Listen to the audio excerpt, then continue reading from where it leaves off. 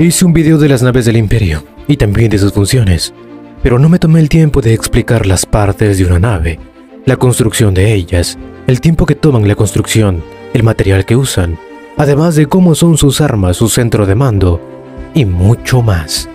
Y primero comencemos con la construcción. ¿Y quién es el que se encarga de construir estas naves?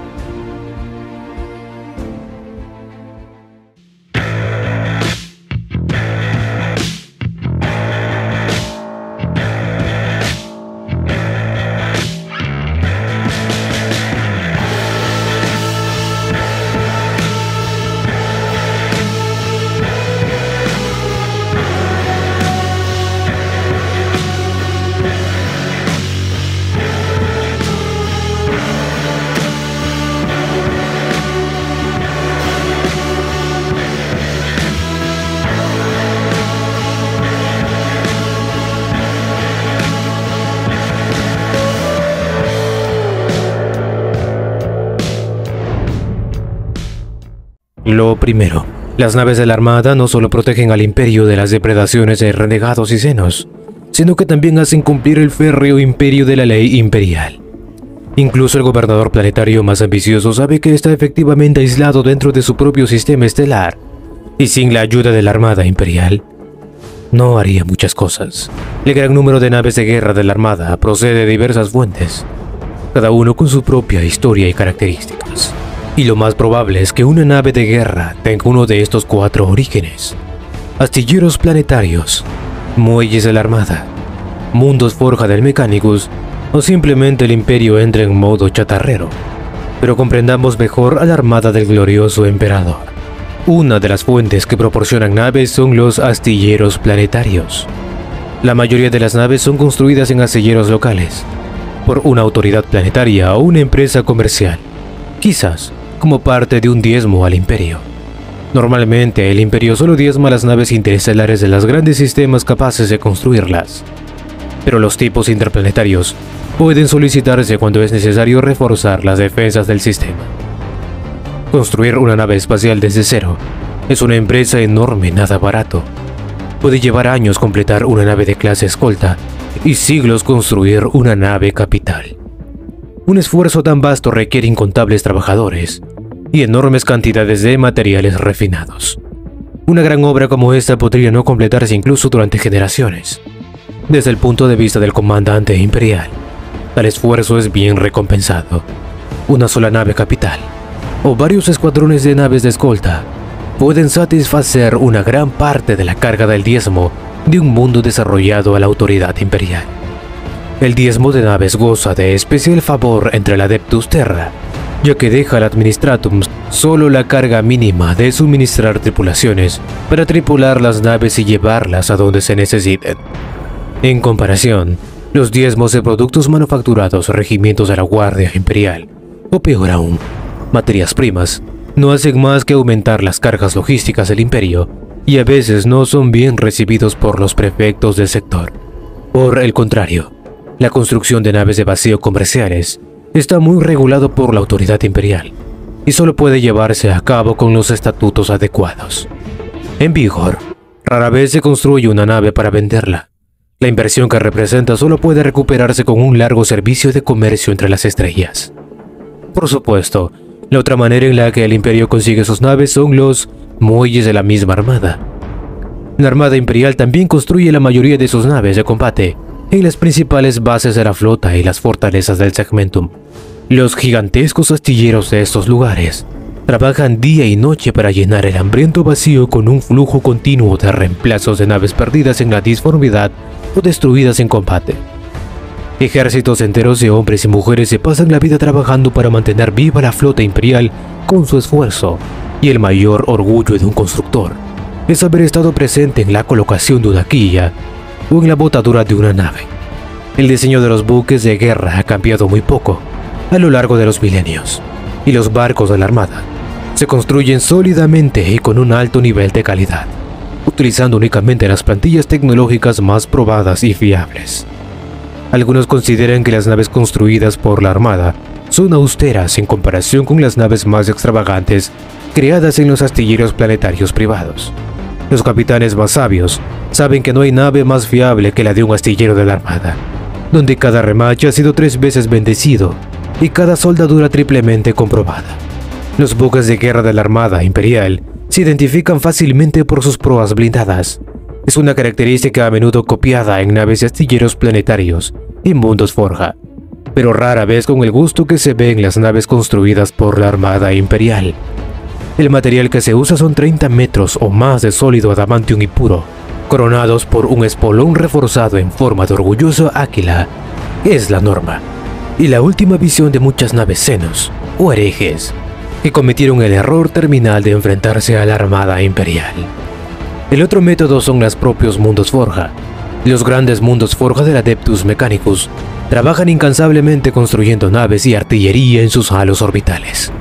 La gran mayoría de estas naves se destinan a las flotas de exploradores del propio Adeptus Mechanicus para alimentar su incesante búsqueda del conocimiento. Otras van a parar a la armada, sobre todo naves escolta en gran número. Unas pocas llegan a manos de los road traders, a cambio de su ayuda para descubrir nuevos datos, ya que estos individuos están siempre a la vanguardia de la exploración imperial. Las naves del mundo Forja son una maravilla de la ingeniería equipadas con muchos sistemas que apenas se comprenden en la era actual. Son específicamente famosas por tener el blindaje más grueso posible, gracias a las grandes fundiciones de adamantium y a los tribunales de fundición que solo se encuentran en los mundos Forja. Incluso cuando las enormes placas de fundición empiezan a enfriarse, filas de sirvientes y sirvientes se arremolinan sobre ellas para empezar a remacharlas en su sitio, sobre el esqueleto de la nave.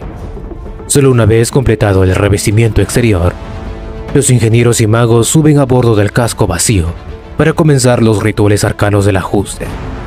Este largo proceso está marcado por interminables ceremonias, súplicas a los espíritus individuales máquina y plegarias a la omnicia, a menudo que se instala cada uno de los miles de sistemas internos.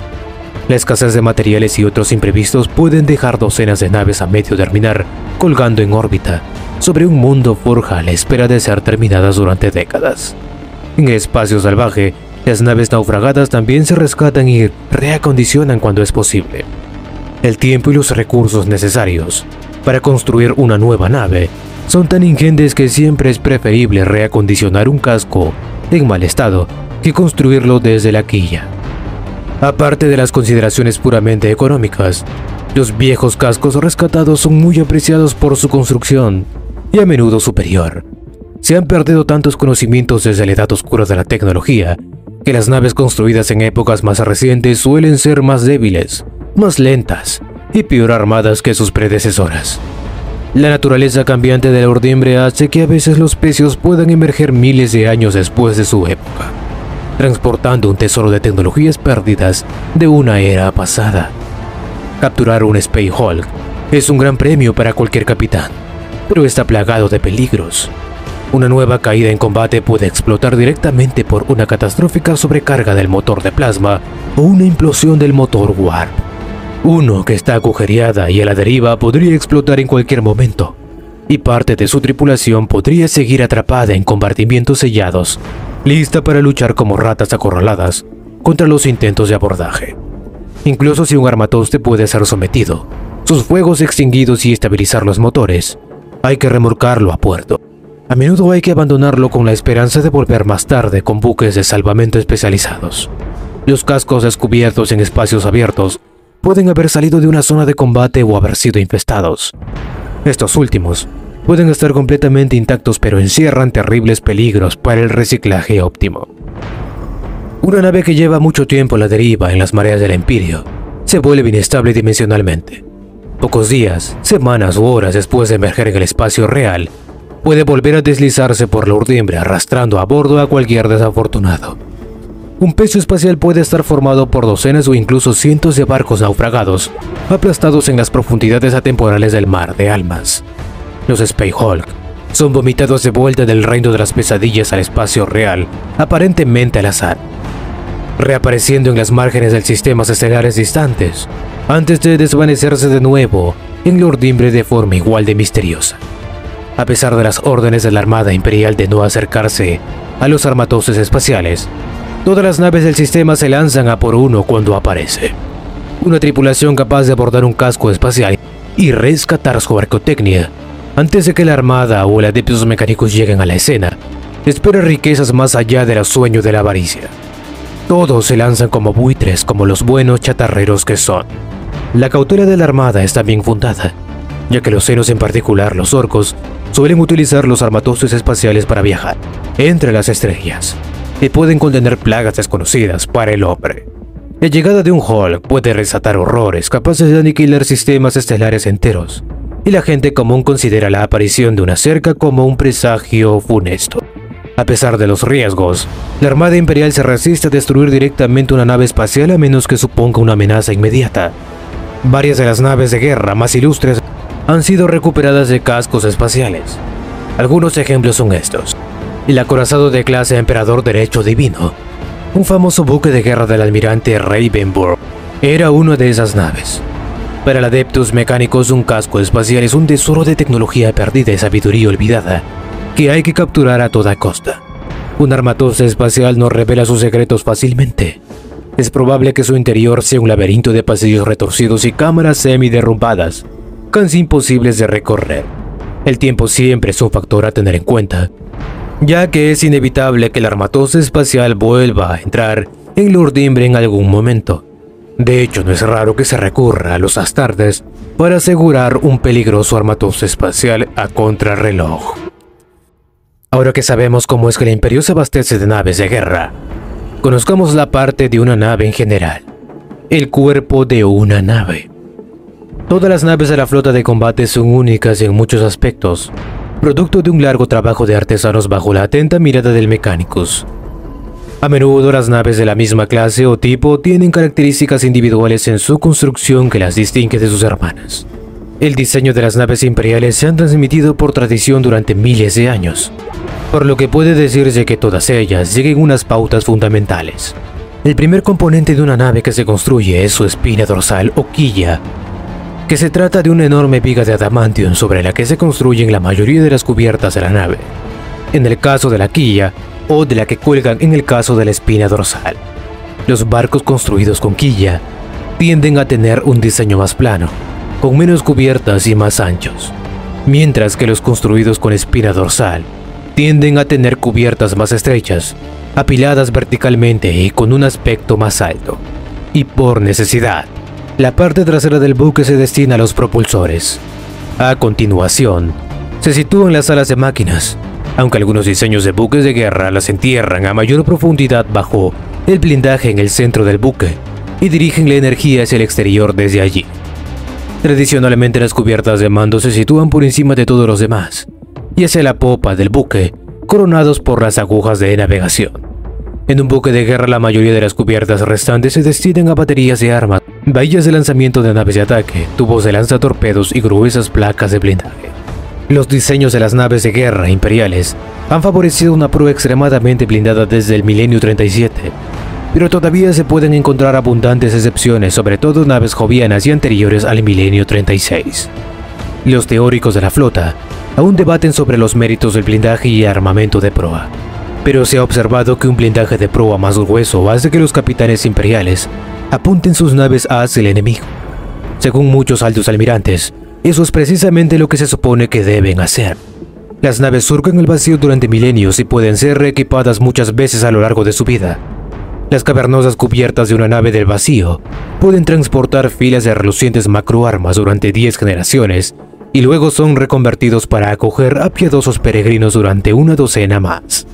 Cada alteración y embellecimiento construye el carácter de la nave, añadiendo para siempre a la mística que la hace tan amada y temida para sus abarrotados ocupantes. Sin embargo, las distintas configuraciones de las cubiertas pueden describirse con cierto detalle, ya que son esclavas de las funciones que en ellas se desempeñan. Cubiertas de armas. Los motores y reactores de un buque de guerra ocupan un tercio de su masa. Las cubiertas de armas suelen constituir tres cuartas partes de la que queda. Incluso las macroarmas individuales son gigantescas, del tamaño de una casa cubiertas de pórticos, grúas, tendidos eléctricos y tuberías con una tripulación de cientos de personas. La torreta de lanza son aún más grandes del tamaño de una manzana, con una tripulación de miles de personas. El funcionamiento de las macroarmas de todo tipo, requiere mucha mano de obra ya que pocos sistemas automatizados son fiables en la batalla. Las armas láser Melta y de plasma se alimentan normalmente de generadores situados en el interior de las salas de armas y de células de reacción de varias toneladas izadas desde un almacén situado en la parte inferior.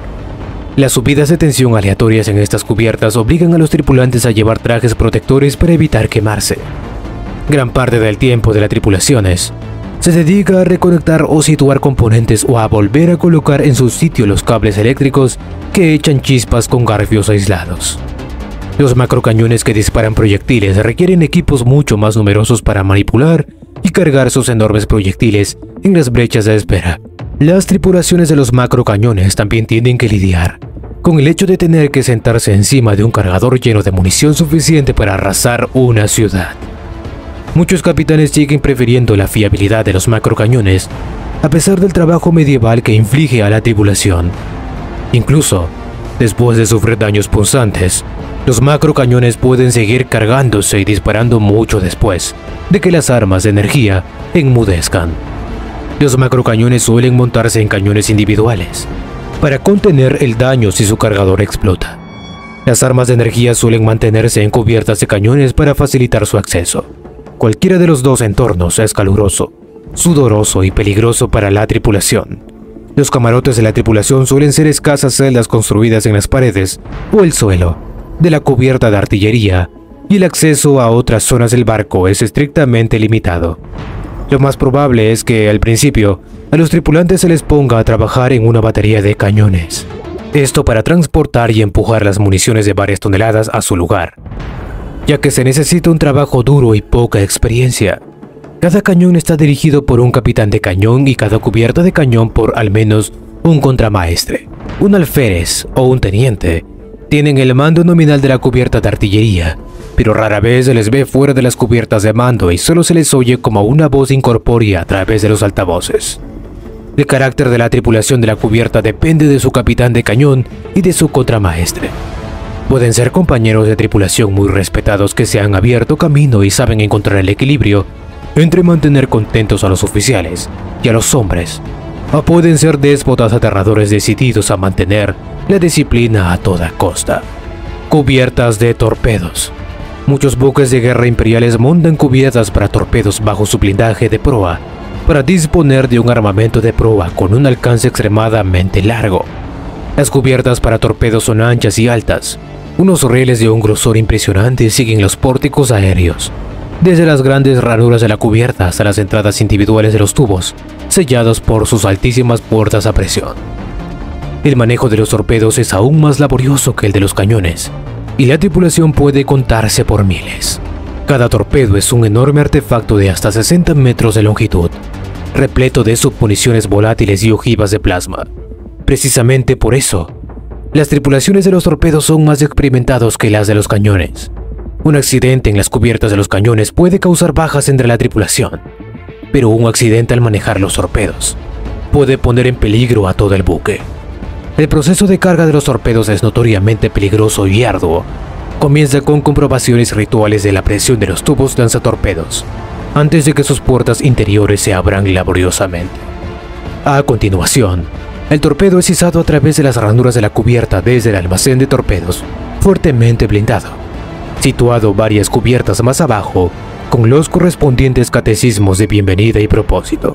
Cuadrillas de trabajo en masa a miles de enormes misiles a lo largo de los carriles en el fuerte luego arrastrar los tubos abiertos.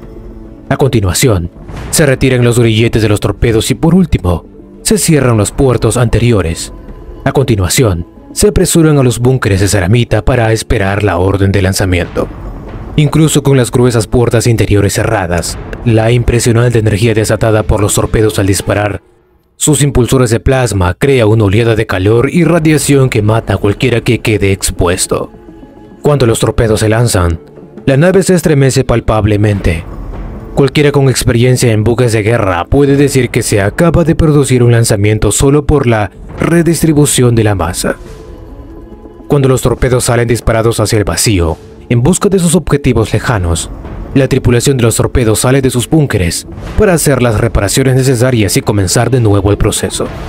Incluso cuando no está en combate, los torpedos deben ser sacados periódicamente del almacén para ser ungidos y examinados por los tecnosacerdotes en busca de fallos. Se dice que los torpederos pueden llegar a encariñarse con sus cargas durante los largos siglos de mantenimiento entre sus batallas. Contemplen la eventual marcha de un torpedo favorito con una curiosa mezcla de orgullo y pérdida. Bahías de lanzamiento. Las bahías de lanzamiento de naves de ataque son lugares bulliciosos. Normalmente una zona de hangar central abierta rodeado de gradas, talleres mecánicos, almacenes de armas y áreas de mantenimiento.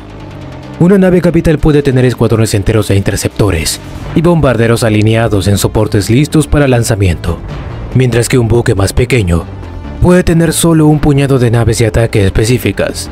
La mayoría de las bahías de lanzamiento están construidas para abrirse directamente al espacio con un campo de energía sobre la entrada, para mantener la atmósfera dentro del casco, aunque las naves con bahías de lanzamiento son notoriamente agujereadas en este aspecto. Se utilizan obturadores blindados para sellar completamente la bahía entre lanzamientos y recuperaciones durante una batalla, y para las transiciones, a través de la curvatura.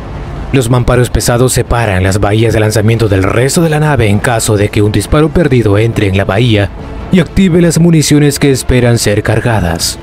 En realidad, algunos creen que la Armada Imperial le gustaría descartar por completo el uso de naves de ataque, simplemente por la desastrosa arrogancia de un grupo de jóvenes oficiales cinco milenios atrás. Esto durante la infame prerrogativa Gariox del Segmentum Tempestus. En última instancia, la flexibilidad suprema de las naves de ataque ha garantizado su despliegue continuado, a pesar de la desaprobación de algunos de los altos almirantes. Los portaaviones a menudo se sienten como una raza aparte del resto de la armada, con tripulaciones poco ortodoxas dispuestos a intentar cualquier cosa para demostrar su valía a los defensores tradicionales del cañón grande. Cubiertas de motores. Las cubiertas de máquinas son el corazón palpitante de un buque. Son espacios inmensos como una catedral dominados por atronadores reactores de plasma y conductos blindados que transportan incontables gigavatios de energía a la nave. Una nave capital puede tener hasta una docena de cámaras de reactores conectadas entre sí para abastecer sus titánicas necesidades energéticas. Una nave pequeña probablemente solo tenga una, encajada en un transepto blindado. Las cubiertas de máquinas son siempre un hervidero de actividad, con maquinistas y técnicos de todo tipo moviendo incensarios, entonando ritos y comprobándose tres veces unos a otros, mientras innumerables servidores se ocupan de los reactores día y noche bajo la atenta mirada de los sacerdotes rojos de Marte, aunque técnicamente forman parte de las salas de máquinas y comúnmente situados cerca de ellas. Los generadores de escudos merecen una mención especial. Estas gruesas cámaras albergan interminables hileras de generadores que proyectan los escudos y las masas de escudos menores y proteger la integridad del casco. Redirigir la energía a través de los generadores en batalla es una función vital de los grupos de control de daños. Sumergirse de cabeza en un infierno coruscante de energía desatada para apagar un generador sobrecargado es un trabajo para hombres valientes y pocos regresan con vida. Los voluntarios son abundantes porque sin ellos la nave sufre muchas más roturas de casco y pérdidas de aire. La pérdida de aire condena a la tripulación a una muerte lenta y venenosa, hasta el momento en que los inevitables leyes de la oferta y la demanda se igualen con un número suficiente de bajas. Los Tech Press mayores también conocido como Engine Prime, de la nave, es extremadamente reacio a dejar entrar en la cubierta de máquinas a nadie que no esté totalmente integrado en el culto del Mechanicus. Esto, bajo ninguna circunstancia. Incluso a un tecnosacerdote de alto rango se le puede negar la entrada educada pero firmemente. Por otro lado, los tripulantes especialmente recalquitrantes, los amotinados y los polizones, pueden ser enviados al Mechanicus a menudo para no volver a ser vistos. Los tecnosacerdotes trabajan constantemente para mantener el número de sirvientes en las cubiertas de máquinas a pesar del desgaste por accidentes, por lo que los conversos son siempre bienvenidos. Las máquinas de una nave, especialmente las más antiguas, pueden convertirse en un santuario para los devotos del Adeptus Mechanicus que las cuidan. Estas comunidades enclaustradas pueden volverse insulares en el paso de los siglos y a menudo están sujetas a numerosas prescripciones específicas de su nave. De hecho, ver por primera vez una acción, una configuración de núcleo o un sistema de ignición previamente desconocidos puede ser una experiencia profunda e incluso reveladora para un tecno sacerdote. Agujas de navegación. Las agujas de navegación sobresalen como los puntos más altos de la nave. En una nave capital son extravagantes torres de armaplas y cristal de acero que albergan al navegante principal y a su familia en opulentas galas que avergonzarían a un gobernador planetario. Incluso en las naves más humildes, los aposentos de los navegantes son de lo mejor que hay, e incluyen como mínimo un sofá excepcionalmente barroco. La vista desde las agujas suele ser impresionante. Solo aquí es posible apreciar la majestuosa extensión de la nave, con sus innumerables luces brillando intensamente contra el firmamento estrellado del más allá. Algunos navegantes optan por recluirse en sus espirales durante todo el viaje, incluso cuando la nave no está en Lordimbre. Se trata de una política que cuenta con la aprobación de los oficiales de la Armada, preocupados si su preciado recurso se mete en problemas. Otros navegantes sienten un placer perverso al deambular por la nave siempre que pueden. Viven aventuras, invitan a cenar a la aguja de navegación y en general se deleitan provocando apoplegias agudas a sus guardaespaldas. Independientemente de su comportamiento, los navegantes son tratados con un nivel de diferencia casi asfixiante a bordo de los barcos de la Armada, y solo pueden ser censurados por el capitán del barco en persona. Como cada uno cuida del barco a su manera, el capitán y el navegante suelen forjar un vínculo lo bastante fuerte, como para que las idiosincrasias individuales sean vistas con indulgencia. El resto de la tripulación tiende a admirar a los navegantes con temor supersticioso, y hace prácticamente cualquier cosa para evitar acercarse a las agujas embrujadas. Puestos de mando. Si las máquinas son el corazón de un barco, los puentes de mando son su cerebro. Varios de ellos están dedicados a los camarotes de los oficiales, desde pequeños camarotes para los alférez hasta suites enteras para los capitanes y almirantes. Los puentes de mando están construidos a gran escala con largos pasillos, majestuosas escaleras y salones con columnatas ingeniosamente diseñados para sobrecoger al espectador. En algunos lugares, altos ventanales y grandes ventanales de observación protegidos por persianas blindadas ofrecen pistas del casco de la nave y del más allá. Es habitual que la piedra e incluso la madera se utilicen ampliamente en los puestos de mando para dar al lugar una sensación de permanencia y fuerza temporal.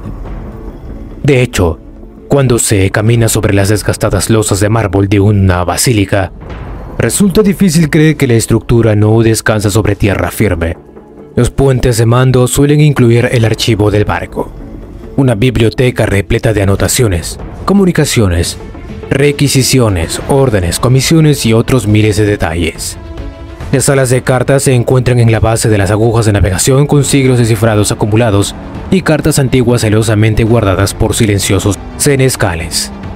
Muchos barcos tienen salas enteras de trofeos resplandecientes, con imágenes de acciones famosas en las que, en las que ha participado el barco. Retratos de capitanes anteriores, recuerdos de enemigos derrotados y honores de batalla esculpidos en las paredes. Todas las naves de la Armada tienen una capilla Ministorum a bordo ya sea una diminuta habitación con un relicario o una sala abovedada, lo suficientemente grande como para albergar a toda la tripulación. En ambos casos hay boxcasters y pix players para retransmitir sermones a todos los rincones de la nave cuando la tripulación alaba al dios emperador por su supervivencia. Por encima de todo está el puente de mando y la cúpula de capitán. El puente está dominado por filas de sirvientes que murmuran y cogitadores que hacen tic-tac y controlan las innumerables funciones de la nave. A cada lado se alzan hileras de nichos repletos de máquinas arcanas y sus asistentes. Oficiales uniformados caminan a grandes zancadas entre los sirvientes lobotomizados y los tecnos sacerdotes, dando los cientos de órdenes necesarias para que todo funcione a la perfección. En lo alto, en la cúpula del capitán, residen los oficiales superiores y el propio capitán, desde aquí observan el progreso de la nave en un enorme holotanque. Evalúan los avistamientos de augures, controlan los niveles de preparación y trazan el rumbo de la nave a través del vacío espacio. Conjunto de comunicaciones. La sala de comunicaciones se encuentra junto a los puentes de mando, normalmente a través de una galería anexa al puente apropiadamente dicho. Aquí los vástagos de la Adeptus Astra telepática comen, trabajan y duermen prácticamente sin contacto con el resto de la nave. Se reúnen praesidiums, escalonados para escuchar los lejanos cantos astrales de sus hermanos. En ocasiones se reúnen para formar coros astrobáticos que transmiten los mensajes que él les envía el capitán de la nave. Los herbocráneos circulan por todas partes a través de la red de comunicaciones, grabando cada palabra en pergaminos tras pergaminos. Se trata de referenciados y catalogados para que no se pierda de una sola sílaba susurrada. Los altos claustros arqueados y las estrechas celdas del conjunto son un lugar tranquilo, estéril e inquietante, silencioso en comparación con el resto de la nave. Cubiertas inferiores. Las cubiertas inferiores o bajo cubierto, a menudo apropiados simplemente como cubiertas bajas, son un eufemismo para designar todas las cubiertas dedicadas al funcionamiento orgánico del buque. Las entinas, los sumideros, los cisternas, los tanques de retención, la planta de recuperación, las lavanderías, los cultivos hidropónicos, las granjas de baterías, los mataderos, las cámaras frigoríficas, las cocinas y gran parte de los alojamientos se encuentran en las cubiertas inferiores. La mayoría de las zonas son estrechos pasillos con tuberías y espacios reducidos, llenos de vapores y olores extremadamente penetrantes, interrumpidos por alguna que otra amplia cámara de techo bajo. Estas se dedican a tareas específicas como acorralar a una manada de grogs, por ejemplo, o albergar tanques burbujeantes de excrementos bajo pasarelas inexplicablemente desvencijadas. En las cubiertas inferiores son habituales las artimañas y las prácticas deshonestas. Esta es la parte del barco que realmente pertenece al tripulante común. Y así hay una partida de cartas, una carrera de ratas o una pelea de Mauflock. Será en algún lugar de las cubiertas inferiores. Al margen de maniobra que el capitán deje a su tripulación en las cubiertas inferiores, es una cuestión muy delicada. Una tripulación feliz cumple bien sus obligaciones, pero la falta de disciplina y de respeto puede generar motines rápidamente. La mayoría de los capitanes juega a un complicado equilibrio entre hacer la vista gorda ante las transgresiones menores y aplicar brutalmente la ley del barco a los infractores graves. Espacios intermedios. Todos los buques tienen tubos de acceso y pasillos para llegar a los rincones más recónditos. Una increíble cantidad de tuberías y cables serpentean entre las cubiertas transportando energía, aire y agua, con todas las válvulas reguladoras y cajas de conexiones que los acompañan y que deben ser mantenidos. El mecánico también debe tener acceso a cada parte de las enormes motores y a toda su intrincada maquinaria, para poder ungirlos y aliviar su espíritu cuando sea necesario. En las naves más pequeñas estos espacios son claustrofóbicos incluso para un solo hombre, y sin duda un lugar desagradable para encontrar algo hostil. En las naves capitales, los espacios entre cubiertas pueden ser un polvoriento laberinto que se extiende kilómetros y kilómetros. Pueden incluir secciones enteras de la nave que han sido selladas debido a daños, o por razones más siniestras, como una plaga, una infestación o un motín. La furia de las armas empleadas en los enfrentamientos entre naves puede abrir enormes cráteres incluso en el blindaje de varios metros de grosor que llevan los buques para protegerse. Las reparaciones resultantes pueden dejar un bosque caótico de largueros y puntales, una madriguera oculta en el interior de la nave.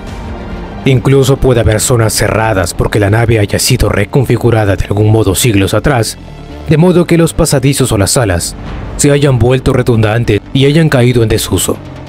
Estos espacios ocultos pueden convertirse en depósitos de todo tipo, desde sociedades secretas hasta santuarios del caos o cargamentos perdidos de arqueotecnia. Todo ello oculto al siempre vigilante capitán y a la mayor parte de la tripulación. Igualmente, algunos pueden encontrar útil explorar una ruta oculta entre zonas de la nave para espiar a otras actividades nefastas. Cada que se necesita situar algo fuera de los caminos trillados en una aventura a bordo de un barco o dar a los exploradores acceso a lugares a los que normalmente no podrían ir. Recuerde que hay mucho territorio por descubrir más allá de las planchas de cubierta. Ratas en las paredes. Inevitablemente algunos de los que sucumben a la locura warp en las cubiertas inferiores escapan al laberinto de conductos y refuerzos entre los espacios habitables de la nave.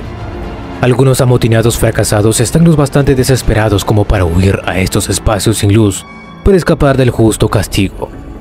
Aquí viven como alimañas ratas en las paredes que incluso pueden empezar a reproducirse si la tripulación es de sexo mixto. La mayor exposición a la disformidad y a la radiación de los motores provoca rápidas mutaciones. Muchas tripulantes llaman a estos desgraciados Hulgats. Hay una serie de criaturas desagradables que de algún modo consiguen prosperar y multiplicarse entre las cubiertas. Solo las especies más tenaces pueden sobrevivir a condiciones tan duras, con poca comida, luz, agua o aire para vivir. Por desgracia, las ciudades colmena y los mundos de la muerte engendran multitud de contentientes. En el sector Calixis, por ejemplo, hay Glomhounds, Mauflux, Sinofian y Zotic Blood Locusts se añaden a la larga lista de Vermin Horribilis, conservada por los analistas de la Armada. Una lista que se dice que comienza con la humilde rata que hay en la Tierra. Cualquier infestación puede convertirse en un grave problema a lo largo de las muchas generaciones que una nave está en servicio surcando el vacío. Las reservas de alimentos se echan a perder y las enfermedades pueden proliferar. Algunas naves pueden incluso ser llevadas a pique para envenenar sus entrañas si resulta imposible erradicar el problema. No cabe duda de que algunas naves acaban siendo presas de estos parásitos, sobre todo cuando ya se encuentran en apuros debido a daños o a que se han perdido en la disformidad. Gracias por llegar al final del video, no olviden de suscribirse, compartir y activar la campanita. Ayudarían mucho compartiendo el canal.